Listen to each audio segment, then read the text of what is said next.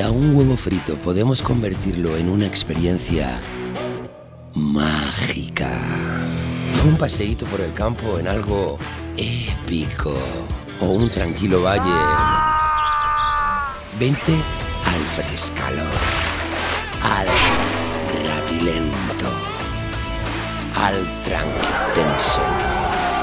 Al cosmo pueblita. Siéntete bien, ahora más que nunca. Pues nada, pues estamos haciendo lo que es mejora de precaución de que caiga algún pino sobre lo que son las casas, el casco urbano, que siempre viene bien, siempre hay nubes, siempre, pues, es más, han caído algunos y, le han dado algunos tejados y demás. Y por lo demás, pues bueno, intentamos tirar lo, mejor que se puede con, con, los medios que tenemos, que estamos mecanizados, ya visto, con tractor, con grúa, con y lo que es el equipaje, el EPI. Hay que buscar la caída y si vemos que la caída, su caída es mala, pues intentamos buscarle otra caída, pero ya tenemos que dependemos de cuerdas, dependemos de trastes, dependemos de lo que es un tractor, o siempre con, medios para ocasionar el menos daño posible.